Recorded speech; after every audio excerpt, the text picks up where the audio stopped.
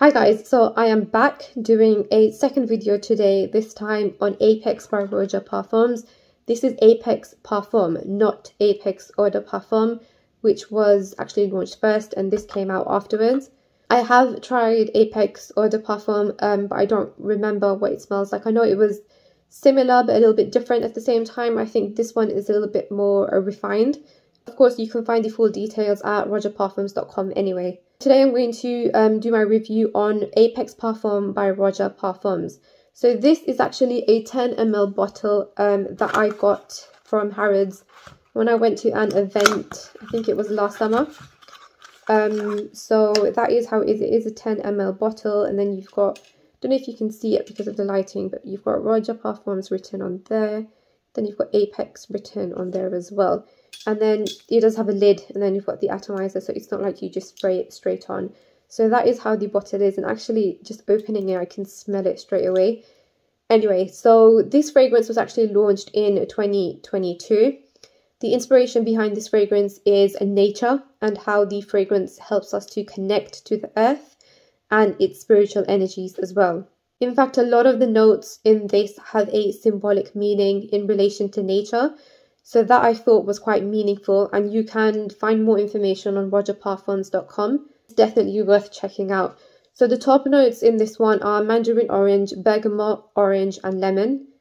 You've got mid notes of jasmine, pineapple, and labdanum, and then you've got base notes of cypress, juniper berries, balsam fir, patchouli, oak moss, musk, leather, ambergris, incense, cashmere wood, sandalwood, elemi, rum, tobacco, benzoin, and amber. So yes, you can see that this is quite a complex fragrance because you have so much going on in the base notes. Um, but because of that, actually, this is actually an incredible fragrance. The scent profile, I wouldn't call it unique as such, um, but the quality, I'm, I'm going to get to that in a second. So instantly when you spray the fragrance, this feels like a very, very high quality man's fragrance very, very attractive. So at first you get like a burst of green, but then this changes straight away to a citrus dominant scent. And in this you can clearly feel the lemon more. It's very refreshing, very awakening, and the projection of this is absolutely incredible. It literally fills up the room. And as I said, when I took the lid off as well, straight away I could smell it without even spraying it. I personally think that it's a very, very attractive scent on a man. It's not, as I said, it's not unique, but it's a very complex fragrance in the sense that there's so much going on, but it smells so beautiful and the quality is just incomparable if you ask me. So this one I think is perfect for a spring and summer day. Um, definitely a day scent though as opposed to a night scent and it's definitely more on the masculine side. I I do like it, but I don't see myself wearing this. So on my skin, um, 15 minutes later after you first spray it, the citruses were like dropping off a different type of scent was emerging with the citruses with the citruses still in the background. It took me about half an hour to figure out what I was actually smelling and for some of the notes to become more independent as well. So about half an hour later, I could feel green trees, but particular ones like cypress, also the balsam fir, the oak moss, the woods, the hints of leather. It felt very outdoorsy, again coming across like a man scent. At this point, it was still attractive, but in a more mature way, if that makes sense. So this earthy, woody dry down lasts approximately 9 to 10 hours on my skin and much, much longer on my clothes, which is normal for a Roja Parfums fragrance.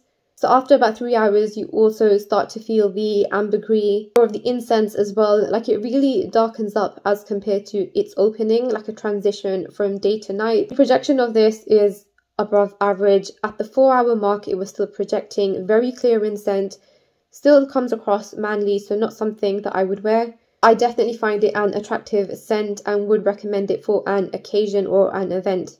Wear this to the office, you will definitely turn heads, so that's also an option.